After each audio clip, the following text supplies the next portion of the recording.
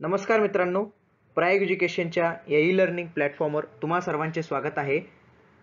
तर industrial रिफॉर्म्समधील industrial policy हा आपला टॉपिक चालू आहे. याच्यावर ऑलरेडी आधी दोन व्हिडिओज बनवलेले आहेत. ते तुम्ही व्यवस्थित पद्धतीने बघा. आज आपण सर्वात इम्पॉर्टंट टॉपिक जो आहे तो आहे एकोणावीसशे एक्क्याण्णवचं नवीन औद्योगिक धोरण हे पाहणार आहोत. यामध्ये काय काय वैशिष्ट्य होती काय काय प्रोव्हिजन्स होते ते सर्व आता आपण पाहणार आहोत. तर एक्झाममध्ये प्रश्न पहिला हा येतो की एकोणावीसशे एक्क्याण्णवचं जे धोरण होतं तर ते कोणी मांडलं? तर बघा हे धोरण जे होतं तर ते तयार केलं होतं भारताचे माजी पंतप्रधान अर्थतज्ज्ञ डॉक्टर मनमोहन सिंग यांनी. एकोणावीसशे एक्क्याण्णवच्या धोरणालाच आपण एल पी जी रिफॉर्म्स असं म्हणतो. L P G means liberalization privatization globalization उदारीकरण खाजगीकरण जागतिकीकरण. तर या प्रत्येक क्षेत्रामध्ये स्टेप घेण्यात आले. उदारीकरण खाजगीकरण जागतिकीकरण. तर आत्तापर्यंत आपण पाहिलेली ही जी पॉलिसी आहे ही शेवटची इंडस्ट्रीयल पॉलिसी आहे. याआधी आपण अठ्ठेचाळीसमध्ये पाहिली छप्पनमध्ये पाहिली त्र्याहत्तर जी होती ती आपण पाहिलेली नाही ती एवढी इम्पॉर्टंट नव्हती. त्याच्यानंतर सत्याहत्तरवाली पाहिली ऐंशीवाली पाहिली आणि एक्क्याण्णववाली आपण जे आहे तर ती इंडस्ट्रीयल रिझोल्युशन पॉलिसी बघितलेल्या आहेत. तर या सगळ्या आत्तापर्यंतच्या भारताच्या इंडस्ट्रीयल पॉलिसीज होत्या. तर एकोणावीसशे एक्क्याण्णवच्या धोरणामध्ये पहिलं डिसिजन घेण्यात आलं dereservation of public sector म्हणजे काय? की गव्हर्नमेंटचे क्षेत्र कमी करण्यात येतील. गव्हर्नमेंटने काय केलं होतं? स्वतःकडे खूप सारे क्षेत्र घेऊन ठेवलेले होते. जवळपास सतरा उद्योग जे होते तर ते गव्हर्नमेंटने स्वतःकडे घेऊन ठेवलेले होते. म्हणजे काय? की तिथं प्रायव्हेट प्लेअर येऊ शकत नाही. पण सांगा जिथं प्रायव्हेट प्लेअर नसतात तिथं रोजगाराच्या संध्या कमी असतात. म्हणूनच नंतर गव्हर्नमेंटने ठरवलं की आपण आपल्या स्वतःजवळ असलेले विभाग कमी करूया. मग याच्यामध्ये असं ठरवण्यात आलं की जे आपल्याकडील रिझर्व्ह सेक्टर आहे ते कमी करूया. आणि पाचच सेक्टर गव्हर्नमेंटने त्यावेळी एकोणावीसशे एक्क्याण्णवमध्ये जवळ ठेवल्या. पहिलं आहे arms and ammunition atomic energy mineral soil rail transport आणि मायनिंग हे पाच गोष्टी स्वतःजवळ ठेवल्या. जर क्वेश्चन आला की आत्ता सध्या कोणते सेक्टर फक्त गव्हर्नमेंटकडे आहे? तर याचं प्युअरली आन्सर असेल ऑटोमिक एनर्जी सेक्टर. हेच फक्त गव्हर्नमेंटकडे आहे. रेल्वे ऑपरेशन्स तुम्ही पहा.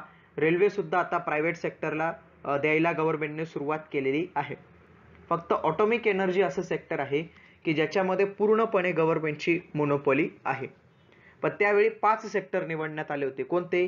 Arms and ammunition atomic energy mineral soil rail transport आणि मायनिंग. तर हे पाचही व्यवस्थित पद्धतीने लक्षात ठेवा. डी लायसनिंग पुढचं आहे डी लायसनिंग तुम्ही पाहिलं असेल की एकोणावीसशे छप्पनच्या धोरणमध्ये एक लायसन्स राज नावाची सिस्टीम इंट्रोड्यूस करण्यात आली होती. म्हणजे एखाद्याला नवीन उद्योग तयार करायचा स्थापन करायचं असेल प्रोडक्शन वाढवायचं असेल तर त्याच्यासाठी त्याला गव्हर्नमेंटकडनं लायसन्स घ्यावं लागायचं. आणि असं मानलं जात होतं हे लायसन्स त्यांनाच मिळत होतं जे गव्हर्नमेंटचे एकदम खास आणि खास माणसं आहेत. त्यांनाच ते लायसन्स भेटायचं बाकीच्यांना लायसन्स भेटायचं नाही. आणि लायसन्स भेटण्यासाठी खूप साऱ्या पद्धतीचा भ्रष्टाचार पैसे गव्हर्नमेंटला द्यावे लागत होते.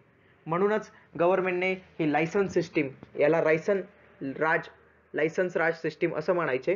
तर ती सिस्टीम गव्हर्नमेंटने बंद केली. पण याच्यामध्ये चार ज्या इंडस्ट्रीज होत्या तर त्याच्यामध्ये ही लायसन्स राज सिस्टीम ठेवण्यात आली. याच्यामध्ये होतं electronic aerospace and defence equipments म्हणजे अंतराळासाठी लागणारे आणि संरक्षणासाठी लागणारे हत्यारं त्याच्यानंतर स्पेसिफाईड हॅझार्डस केमिकल असे केमिकल जे खूप घातक आहेत. इंडस्ट्रीयल एक्सप्लोजिव्स आणि त्याच्यानंतर सिगरेट टोबॅको तर या चार सेक्टर या चार सेक्टरमध्ये लायसन्स राज गव्हर्नमेंटने ठेवलं होतं. बाकी सर्व जे सेक्टर होते आधी कसं होतं नुसतं पेन बनवण्याचा जरी कारखाना असेल तरी तुम्हाला औद्योगिक परवाना इंडस्ट्रीयल लायसन्स घ्यावं लागत होतं. परंतु गव्हर्नमेंटने ठरवलं की सर्व लायसन्स बंद होतील. फक्त या चार ज्या इंडस्ट्रीज आहेत यांच्यामध्ये हे लायसन्स राहतील. पुढचं धोरण होतं डिसइन्व्हेस्टमेंट ऑफ पब्लिक सेक्टर गव्हर्नमेंटने ठरवलं की आमच्याकडे ज्या पण काही इंडस्ट्रीज आहेत त्यांचं आम्ही डिसइन्व्हेस्टमेंट करू. म्हणून तुम्ही बघा आज सुद्धा गव्हर्नमेंट जे आहे प्रयत्न करत आहे डिसइन्व्हेस्टमेंट डिसइन्व्हेस्टमेंट म्हणजे काय? की गव्हर्नमेंटने जिथं पैसे टाकलेले आहेत तिथून पैसे काढून घेणे.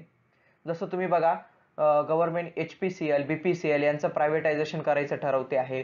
एल आय सीचे दहा टक्के शेअर्स विकते आहे. म्हणजे हे काय करतंय डिसइन्व्हेस्टमेंट मग हे कधी ठरवण्यात आलं होतं? एकोणावीसशे एक्क्याण्णवमध्येच ठरवण्यात आलं होतं की गव्हर्नमेंटकडील असलेले क्षेत्र आता डिसइन्व्हेस्टमेंट करण्यात येतील. पुढचं होतं लिबरलायझेशन ऑफ फॉरेन इन्व्हेस्टमेंट आधी कसं होतं की फॉरेन इन्व्हेस्टमेंट भारतात नाम मात्र होतं झिरो होतं. खूप सारे रिस्ट्रिक्शन होते. तर या पहिल्या पॉलिसीमध्ये असं ठरवण्यात आलं की फॉरेन इन्व्हेस्टमेंट ज्याला आपण एफ डी आय म्हणतो तर हा एफ डी आय भारतात अलाऊ करण्यात येईल. मग याच्यामध्ये असं ठरवण्यात आलं होतं की जवळपास सत्तेचाळीस अशा इंडस्ट्रीज असतील ज्यांच्यासाठी एफ डी आय हा जास्तीत जास्त एक्कावन्न टक्केपर्यंत असेल. आणि काही ज्या एक्सपोर्ट ट्रेडिंग हाऊसेस असतील त्यांच्यासाठी चौऱ्याहत्तर टक्क्यांपर्यंत देण्यात आला. आणि आजचा जर तुम्ही पाहिलं तर जवळपास शंभर टक्के एफ डी आय ठेवलेला आहे गव्हर्नमेंटने खूप साऱ्या सेक्टरमध्ये जसे की उदाहरण द्यायचं झालं जे आपलं ऑटोमोबाईल सेक्टर आहे.